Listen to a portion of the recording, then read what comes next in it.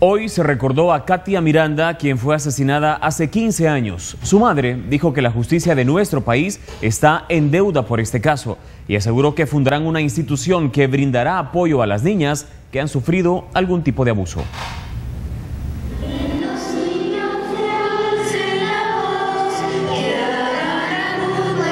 Con una misa en el Colegio Corazón de María, donde estudiaba la niña Katia Miranda, se recordó su memoria. Ella fue asesinada en la playa Los Blancos, en el departamento de La Paz, entre la noche del 3 y la madrugada del 4 de abril de 1999. A los familiares de Katia, Katia sigue viva. Katia está viva. Está viva realmente, está viva no solo en la mente y en el recuerdo de quienes le conocieron y le quisieron.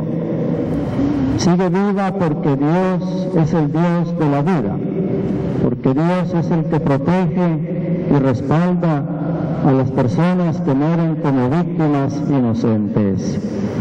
Hace 15 años, la niña de 9 años de edad había asistido a una propiedad de la familia paterna, donde supuestamente fue sacada de la tienda de campaña donde dormía y llevada hasta la playa. Para Hilda Jiménez, madre de Katia Miranda, la justicia del país está en deuda, porque se sentenció al abuelo y a otras cinco personas solo por secuestro y no por delitos sexuales y homicidio. Quiero comenzar con, con la paz. Quiero en este tiempo de cuaresma pedirle a los, al sistema, a los sistemas encargados de hacer prevalecer la justicia en este país que no esperen a una Hilda Jiménez para trabajar. El 10 de abril, Hilda Jiménez inaugurará la Fundación Katia Miranda con una sola finalidad.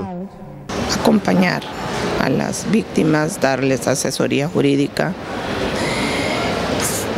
psicológica, ¿verdad? Eh, acompañamiento moral.